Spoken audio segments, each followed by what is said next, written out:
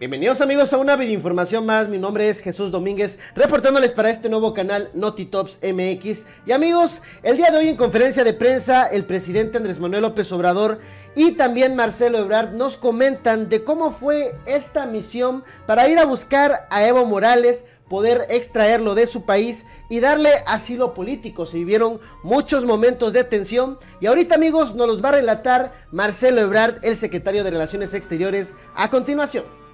Con su permiso, señor presidente.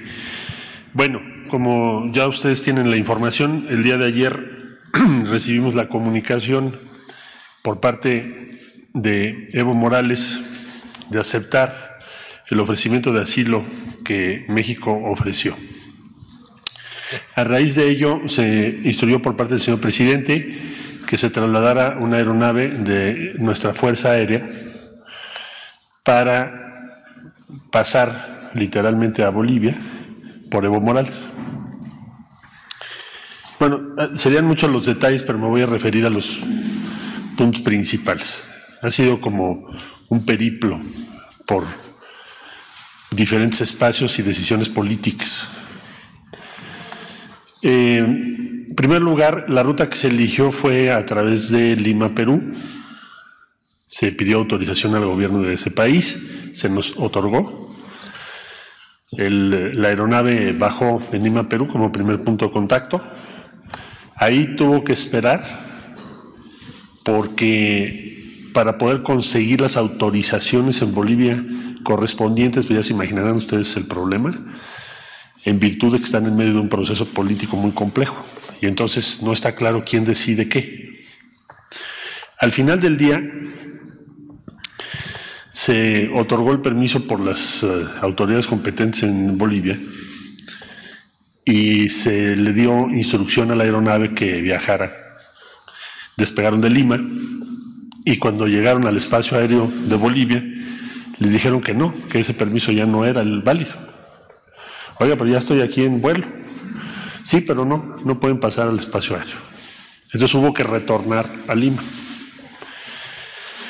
ahí en Lima esperar varias horas para poder conseguir la autorización que finalmente, con la valiosa intervención de nuestra embajadora, del subsecretario de América Latina y del de la voz, finalmente el comando de la Fuerza Aérea fue el que otorgó el permiso para que pudiéramos ir lo cual también dice quién tiene el poder ahorita en, en, Bolivia. Entonces, pasó la aeronave, llegó al aeropuerto donde estaba esperándonos Evo Morales, y la ruta que teníamos prevista para retornar pues era la misma, regresar por Lima, después sale a aguas internacionales y de ahí hasta México. Pero ya casi por salir, esto estoy hablando hora de México, ya alrededor de las siete y media de la noche, el eh, gobierno del Perú, por vía de su canciller, me comunicó que por valoraciones políticas se suspendía ese permiso para bajar en Lima a, recoger, a recargar combustible y retornar a México.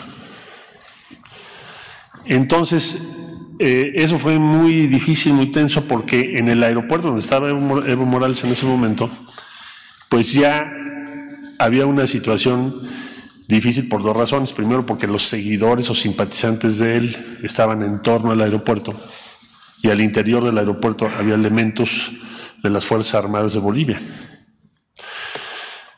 Entonces fueron un periodo de los de mayor tensión para nosotros,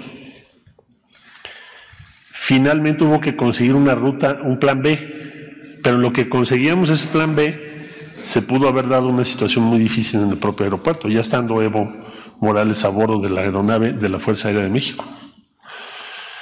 Eh, fue el peor momento, por supuesto. Hablamos con Paraguay. Yo establecí contacto con el canciller que amablemente me atendió nos ayudó mucho el presidente electo de Argentina, le agradezco profundamente su, apoyo y su gentileza, porque él habló con el presidente de Paraguay también, por su lado. Y el canciller me dijo, no tenemos inconveniente en que vengan ustedes a la Asunción, vuele el avión a la Asunción y aquí recargue combustible y permanezcan las horas que sean necesarias en lo que ustedes hacen su trámite de autorización de espacio aéreo, porque entendemos la circunstancia en la que está, puede, puede convertirse en una tragedia lo que está pasando. Entonces, eh, amablemente, y le agradecemos mucho al gobierno del Paraguay, entonces nos concedieron esta autorización, pero ya se imaginarán ustedes que cada autorización requiere hablarle a alguien en la dirección correspondiente, mandarle los datos, sacar el permiso, eh, llámeme ahorita en un momentito, y eso es normal en todos los países. Entonces, eso prolongó todavía más. Eh, el eh, general que viene a cargo de la aeronave es un agente excepcional. Estamos muy agradecidos con la Fuerza Aérea de México, siempre su profesionalismo impresionante, una sangre fría, fuera de serie, y también habilidad para poder dialogar con la, contraparte en ese momento tan complicado. Eh, eh, volvió, volvió a intervenir la embajadora y finalmente logró que de nuevo la Fuerza Aérea de Bolivia nos permitiera salir, porque ya no nos iban a permitir salir. Ahora sí que por un milimétrico espacio se dio la salida. Ya saliendo de Bolivia, llegaron a Asunción, de ahí volver a hablar con Perú y decir, bueno, no vamos a bajar a recargar combustible, pero déjenos cruzar su espacio aéreo de regreso. Entonces hicieron las consultas correspondientes y me habló el canciller y me dijo, sí estamos de acuerdo con eso, pasen por nuestro espacio aéreo. Luego, hablar con el canciller del Ecuador para decir, oye, si necesitamos recargar combustible, podemos bajar en Guayaquil consultas, sí, sí pueden bajar en Guayaquil para recargar combustible, si es necesario para ustedes. Se tramitaron los permisos, luego a... volvemos a hablar a Bolivia y nos dicen, no, fíjate que ya no te vamos a dar permiso de volver a cruzar el espacio aéreo de Bolivia. Es decir, para volar de Asunción hacia Perú, tienes que cruzar el espacio aéreo de Bolivia. Y ya no, y además ahorita ya es muy tarde porque allá van horas adelante. Entonces, como no se puede cruzar Bolivia, ¿cuáles serían las alternativas? Entonces, amablemente, el embajador de Brasil nos dice en La Paz, dice, si quieren, yo les ayudo. Después hablamos con el embajador de México en Brasil, el embajador Piña, y a en la madrugada consiguieron milagrosamente casi y también agradecemos al gobierno de Brasil el permiso para poder volar en el espacio aéreo de Brasil en la línea fronteriza entre Bolivia y Brasil. Y de ahí salir a Perú. Esa era la ruta. Y de Perú cruzar el espacio aéreo de Ecuador, ya no bajar en Guayaquil, y seguir hasta la Ciudad de México, porque la autonomía de ese avión son aproximadamente 11 horas de vuelo. Entonces, como teníamos ya recargado con combustible, dijimos, pues ya no bajemos, porque está siendo muy complicado el permiso. Bueno, dado el permiso entonces de Brasil, la autorización de Perú y la autorización de Ecuador, al fin despegó el avión al filo de las dos de la madrugada hora de México. Va volando desde entonces. La última vicisitud que nos refieren es que hubo que rodear Ecuador, porque ya estando en vuelo, les dijeron que no, no les permitían sobrevolar el espacio aéreo y que lo iban a revisar. Esto ya en la madrugada. Entonces hubo que rodear para entrar a aguas internacionales y poder en aguas internacionales continuar el vuelo. En estos momentos están en eso. Eso va a provocar otro retraso aproximadamente un poco más de una hora, hasta donde tenemos información ahora vía la Fuerza Aérea. Eh, ya ese vuelo, en su mayor parte, transcurrirá pues en aguas internacionales. Así que no esperaría yo más contratiempos. Es como un viaje por la política latinoamericana, cómo se toman las decisiones. y los riesgos que se corren.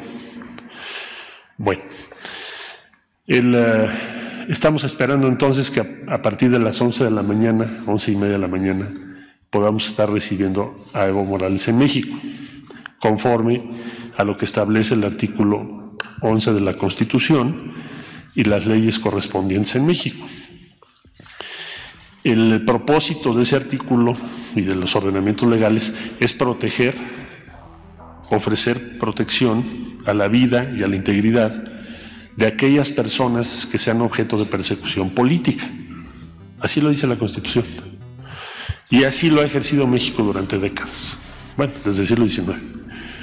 O sea, ya serían siglos. Eh, entonces, esperamos que a esa hora aproximadamente esté por acá. Ya él dará su versión de los hechos, no le corresponde al gobierno de México dar la versión de por qué tomó las decisiones que tomó. Esas le corresponden a él, en su esfera, sus posiciones, sus convicciones, sus eh, proyectos. Eh, la única obligación que tendrá en México, por supuesto, pues es respetar la Constitución y las leyes de México. Ese sería el informe, señor presidente. Vaya duros momentos que se vivió nada más para poder extraer a Evo Morales de Bolivia, pero sin duda alguna ya ahorita viene en camino a México. Se espera su arribo dentro pues de unos minutos a las 11, 11.30 de la mañana. Y amigos, vamos a estar pendiente de esa información en los canales de estadística política y benditas redes sociales. Nos vemos en un próximo video y por favor dale me gusta si es de tu agrado este video y por favor regálame esa suscripción. Nos vemos en un próximo video y recuerden que más noticias y tops aquí en NotiTops. Nos vemos.